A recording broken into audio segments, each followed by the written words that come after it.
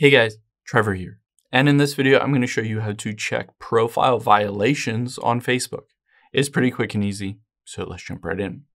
Now let's open up the Facebook app here. And if you're wondering if you have a violation for community guidelines or the standards, basically maybe you posted something, you can always check it by tapping the menu button at the bottom right.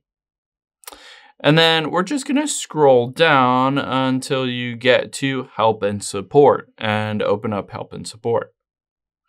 Now on here, you can see under help center is the support inbox. Let's tap on that. And it says reports about others. These are reports that you filed against other people's profiles and then your alerts about your profile. So let's tap your alerts here.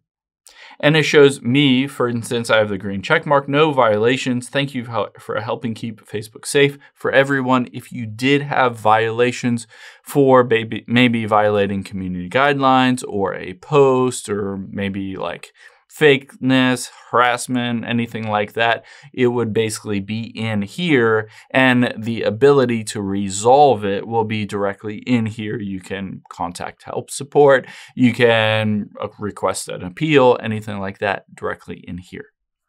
I hope this helps. If it did, hit the subscribe button down below. It really helps me out. And I'll catch you on the next one.